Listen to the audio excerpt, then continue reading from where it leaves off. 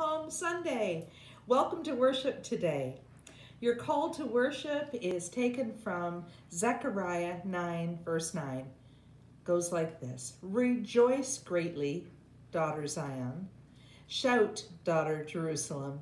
See, your king comes to you, righteous and victorious, lowly and riding on a donkey, on a colt, the foal of a donkey. Hosanna, loud Hosanna for the King of Kings. Let's worship God together.